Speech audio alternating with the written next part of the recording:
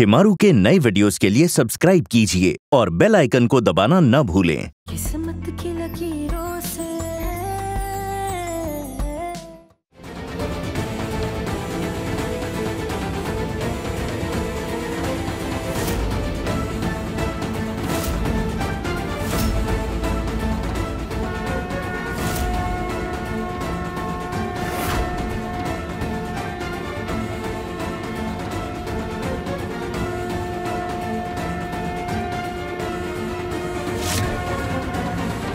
समझ नहीं आ रहा है। एक रात में सबूत कहाँ से लेके आए? ये खून किया किसने?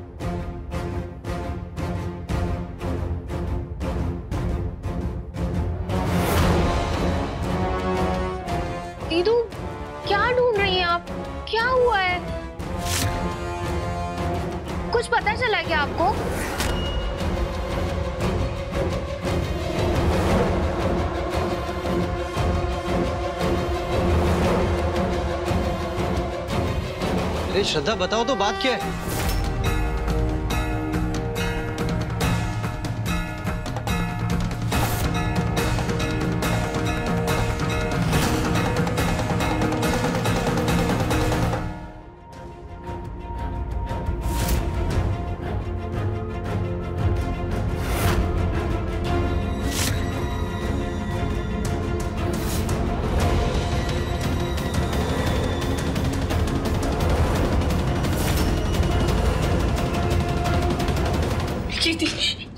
फ़ोन लेके आ। किसका है? मम्मी क्या कहती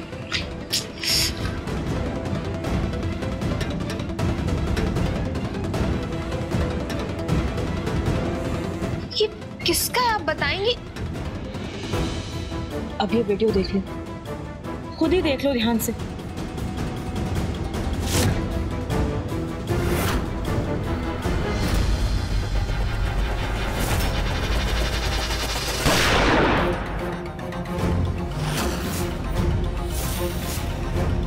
ये उसी खूनी का है, जिसने अपने एक चूक से ये सबूत यहीं छोड़ दिया। इसका मतलब राज का खून इसने हाँ कीर्ति।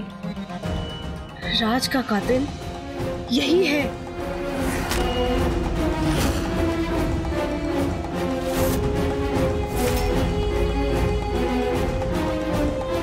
ये ब्रेसलेट उस खूनी का है। ये हमें पता है। लेकिन हम ये बात अदालत में साबित कैसे करेंगे? ये मैं साबित करूँगी वरुण जी। इसका सबूत मैं लेकर आऊँगी। कोई भी घर के बाहर नहीं जाएगा।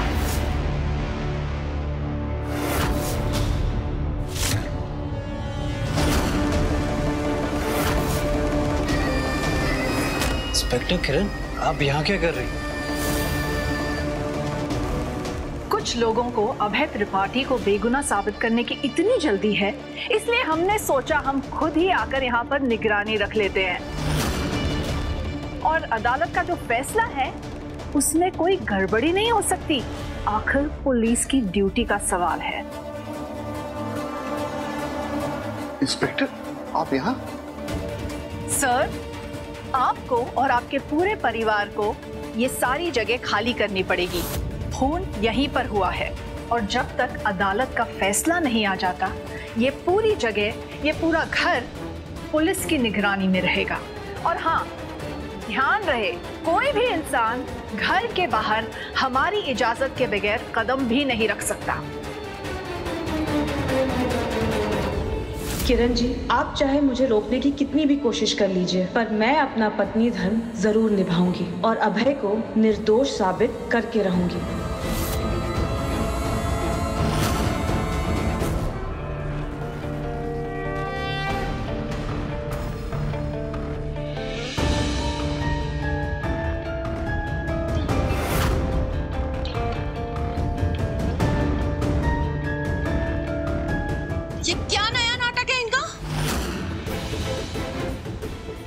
बुआ जी, अदालत के फैसले आ जाने तक हम सबको यही रहना होगा।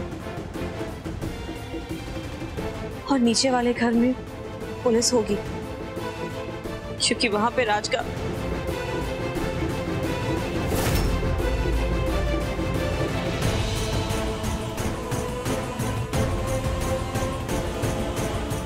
कीर्ति कुछ भी करके मेरे यहाँ से निकलने का रास्ता बना। इंस्पेक्टर की नज़र कब से मेरे ऊपर ही है?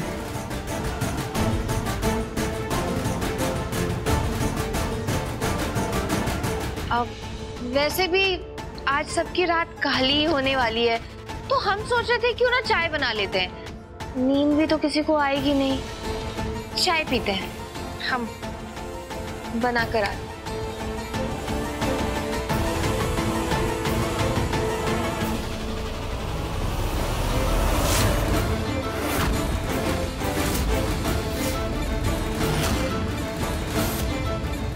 मम्मा, ये पुलिस आंटी, यहाँ यहाँ पे क्यों आई है? ये हमें भी जेल में डाल देंगे। नहीं बेटा, कोई जेल नहीं जाएगा। और ऐसे डरो नहीं। मैं हूँ ना आप सबके साथ। और हम डरते नहीं हैं। हम क्या करते हैं?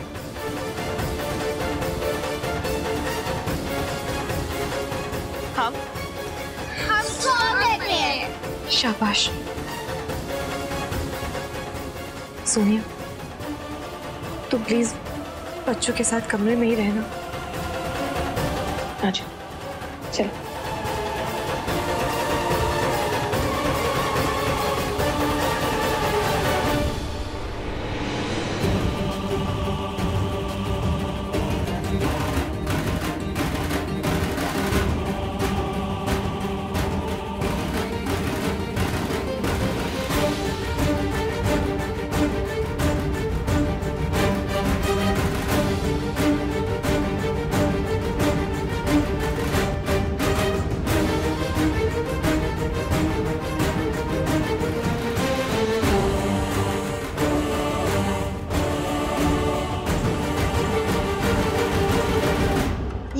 दिया?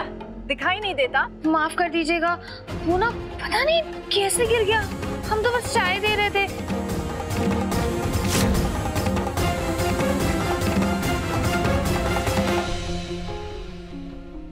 अरे कीर्ति ये क्या कर दिया तुमने हाँ? एक काम तुमसे ठीक से नहीं होता।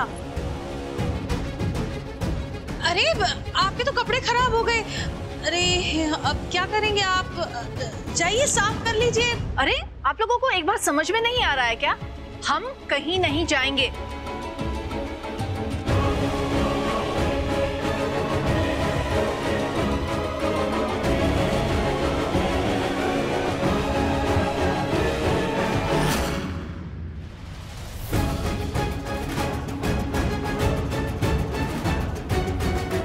मेरी नज़रों से बचने का रास्ता आखिर निकाल ही लिया तुमने, श्रद्धा।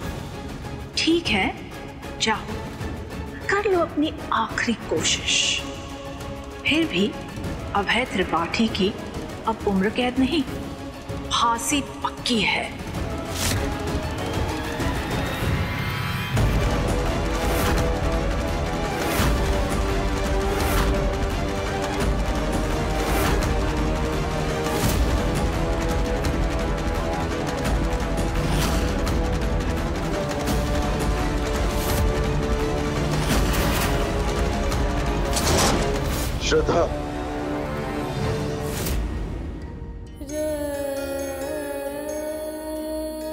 बुरा सपना देखा आपने अभय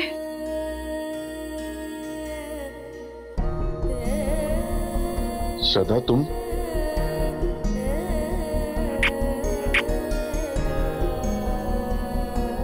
श्रद्धा तुम इतनी रात को यहाँ पर क्यों? घर पे सब ठीक है ना? मम्मी पापा बच्चे? सब ठीक है अभय आज तक ज़िंदगी में कभी डर नहीं लगा पर आज बहुत घबराहट हो रही है। अगर कोर्ट ने फैसला मेरे खिलाफ दे दिया तो तो सबका क्या होगा? मम्मी पापा कैसे रहेंगे मेरे बिना? तो बच्चे अपने पापा के बिना कैसे रहेंगे और तुम?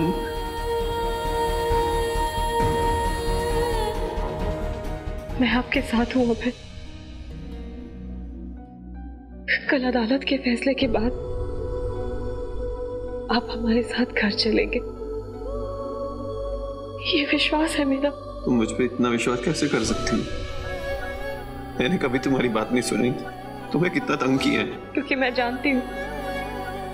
आप मुझसे बहुत प्यार करते हैं। और सुख में, दुख में। आप हमेशा मेरे साथ रहेंगे। और सुख में, दुख में। मैं हमेशा आपके साथ रहूँगी। कल एक आखिरी लड़ाई है अब है। आपको उसके लिए तैयार रहना है। अभी आप आराम कर लीजिए। कल सब ठीक होगा।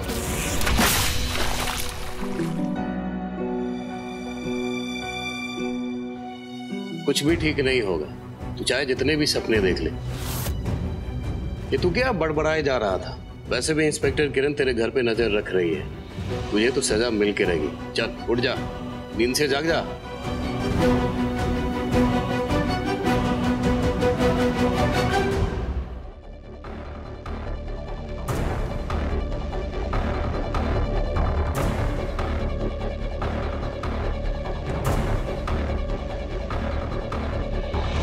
एक बार अभय को सजा मिल जाए तो मैं भी वापस लौट जाऊँ।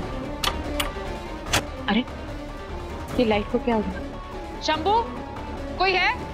जरा देखना लाइट को क्या हुआ?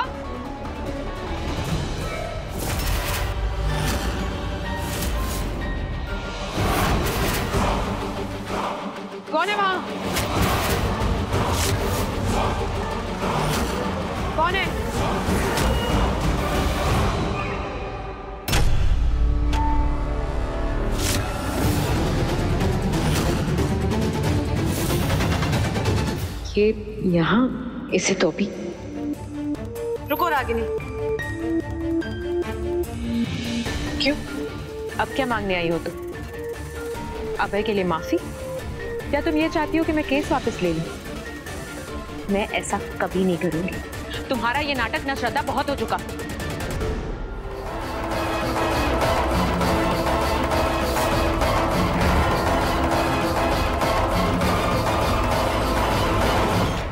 नाटक करती हो तुम हाँ? ये सब कुछ जानबूझकर किया ना ताकि इन चीज़ों की आड़ में श्रद्धा चुपचाप बाहर निकल जाए। और आप लोग सब लोग कान खोल कर सुन लो चाहे कुछ भी हो जाए सजा तो अभय को होकर ही रहेगी। तनुजा जी! चाची! तनुजा भाभी! मम्मी! भाभी! चाची! भाभी भाभी उठिए। भाभी भाभी उठिए। हमें चाची जी को फ़ौरन हॉस्पिटल लेके जाना होगा। अभय पहले ही जेल में और अब भाभी की ऐसी तबीयत खराब हो गई। श्रद्धा भी नहीं है। पता नहीं किस मनहूस की नज़र लग गई हमारे परिवार को। हमारे परिवार की रक्षा कीजिए।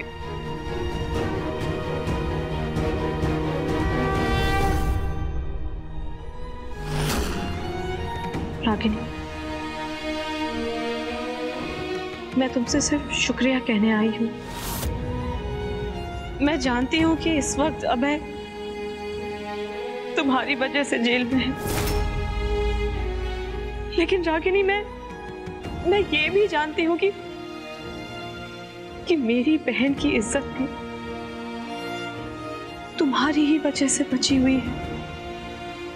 घर हो या फिर कोर्ट, तुमने एक बार भी मेरी बहन का नाम नहीं उछाला। मैं उसके लिए तुमसे शुक्रिया कहने आई हूँ।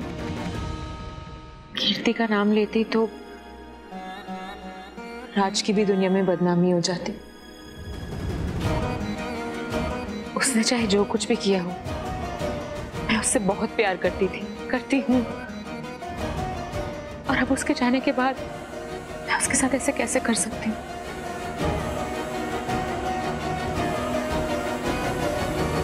अच्छा। कमाल है। क्योंकि मैं तो कुछ और ही सोच रही थी। क्या मतलब?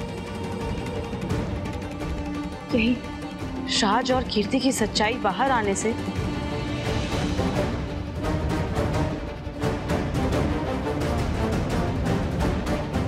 तुम पर कितना बड़ा असर पड़ता। और तुम्हारे सच पर। किस सच की बात कर रही हो तुम? तो? वही सच जो सिर्फ़ हम नहीं बल्कि तुम्हारे परिवार जैसे ऑफ़िस के भी सभी लोग जानते हैं कि कैसे तुमने राज को कंपनी का सीईओ से एक मामूली कर्मचारी बना दिया। कैसे तुमने उसे जेल भिजवाया? कैसे तुमने उसकी सबके सामने बेइज्जती की? राज मुझे धोखा दे रहा था। मैंने जो कुछ भी किया गुस्से में किया। इतना गुस्सा? कि तुमने राज को जान से ही मार दिया। श्रद्धा तुम्हारा कोई हक नहीं बनता कि तुम मुझ पे इतना गंदा घिनौना और झूठा इल्ज़ाम लगाओ। राज मेरा प्यार था। अच्छा। तो फिर क्या? तुम अब भी यही कहोगी?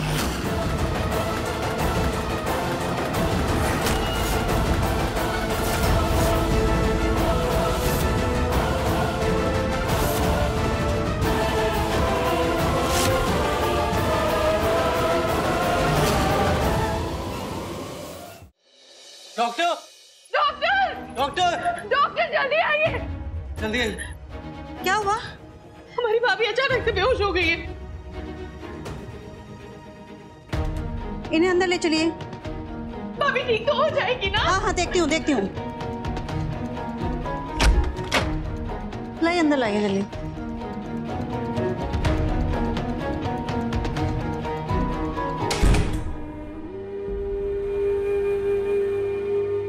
हमारे परिवार की किस्मत में इतनी मुसीबतें क्यों है? श्रद्धा अभय को बेगुनाह साबित करने के लिए भटक रही है। और यहाँ तनुजा भाभी अभय के लिए इतना परेशान है कि उन्होंने अपनी ये हालत कर किस्मत को दोष मत दीजिए बुआ जी ये सब कीर्ति की गलती की सजा है। जो अभय श्रद्धा चाची और हम सबको मिल रही है, मैं उसे कभी माफ़ नहीं करूँगा। मैंने मैंने आपको नहीं बताया। दादा भी तो किस मुँह से? और कैसे बताता हूँ? जी ये बात किसी के सामने नहीं आनी चाहिए। चाहे कुछ भी हो जाए। जिस वक्त मैंने ये ब्रेसलेट देखा ना, उसी वक्त मैं समझ गई थी कि राज को तुम ही ने मारा है।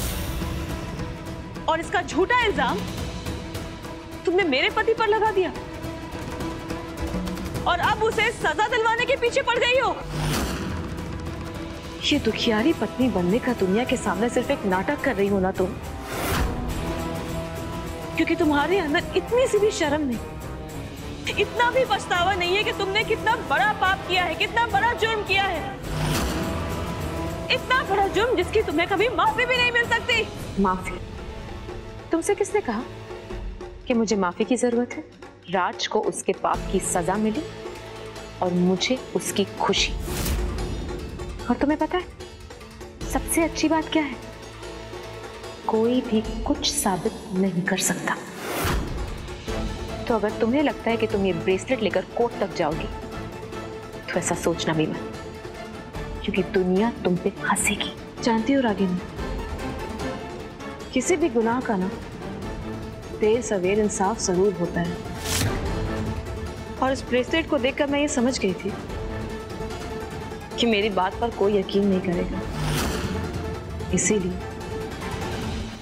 मैंने असली सबूत ढूंढा जानती हूँ वो असली सबूत क्या है?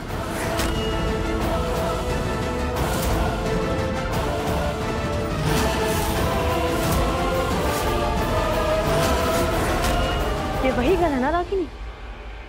जिससे तुमने अपने पति का खून कर दिया। बहुत बेवकूफ़ हो तुम।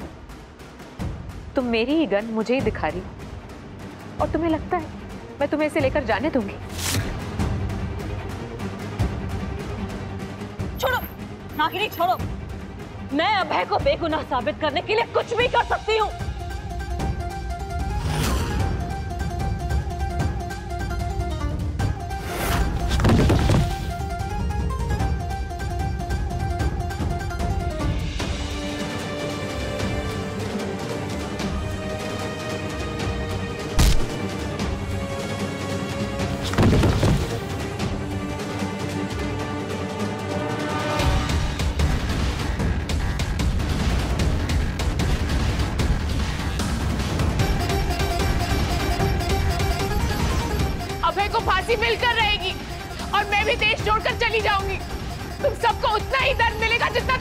दिया है। तुम मेरा प्लान खराब नहीं कर सकती।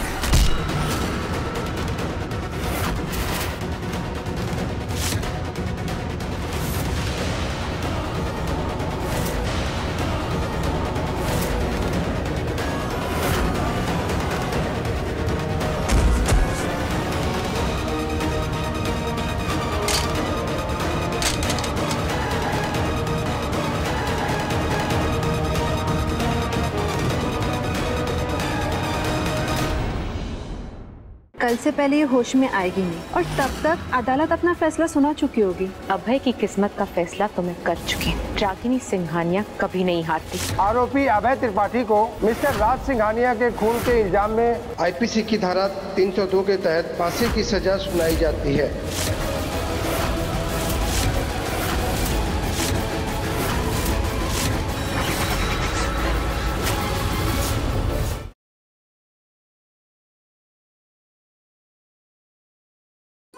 किस्मत से टकराती, उलझी लकीरों को सुलझाती। श्रद्धा की कहानी देखने के लिए अभी अपने टीवी पर लगाइए शिमारू उमंग।